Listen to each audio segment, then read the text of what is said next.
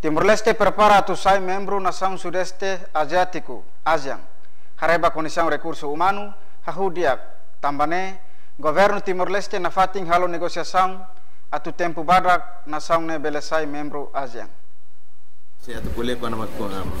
tene preparações condições, ita dia tu país ter na mega agora membro ASEAN e a pan momento ser candidato